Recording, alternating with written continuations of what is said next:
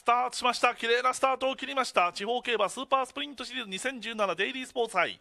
第2回早知でスーパースプリント M2 です。先行争い栄新社楽出てまいりました。その外目からスティルプリンス並びまして間スパートアレンジ800を切りました上のマンボ。さらにその外目から前の方に上がっていきますがキングオブローです。中段位置につけまして内々名村爆災がつけましてあと1番の大西メテオフレームヘイローで残り600の標識を通過。キャプテンバローズ後方勢しんがりロミオ。34コーナー入ります。前の争いは栄新社楽じわっとキングオブローが接近してまいりまして前は3頭残り400の標識を通過。間にスティルプリンス現在3番手4コーナーから直線構成。栄新社楽リード2馬身で独走に入ります。2番手キングオブロー2番手キングオブロー200の標識を通過。スティルプリンス3番手あとはスマートアレンジ。外から上がってくるのが大西メテオ亀のマンボ先頭栄新社楽栄新社楽。キングオブローが追いすがる2番手3番手外から大西メテオ。栄新社楽だ。栄新社楽合塁栄新社楽です。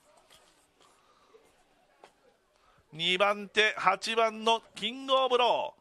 その後3番のスマートアレンジ4番の大勢メテオ。